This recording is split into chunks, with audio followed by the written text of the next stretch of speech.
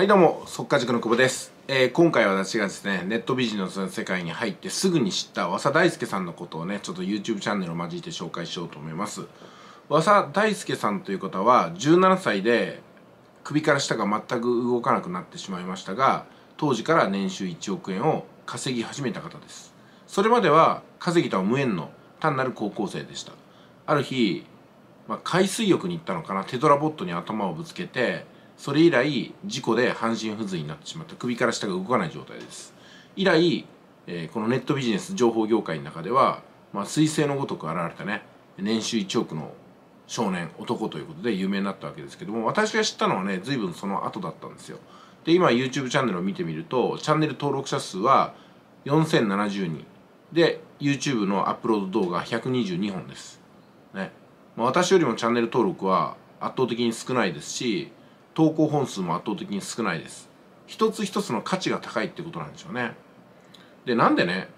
首から下が動かない人がここまで質の高い情報発信ができて五体満足の私ができないんでしょうね、うん、だから体が不自由だとか障害があるとかっていうのはあのまあ大きな世界で見ると関係ないのかもしれないですよね。個体差はあるにしてもですよ。ここを一緒にしないでくださいね。あの全体的に見るとその人のメリットデメリット障害があるない体が動く動かないは全体的に見るとあんまり関係ないんですよ。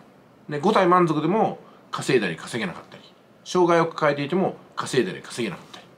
個体差で見ると違うってことですからね。ここを一緒にしないでいただきたいんですけども。じゃあそれを一緒にしない混同しないっていうのは分かったんだけどもどこにね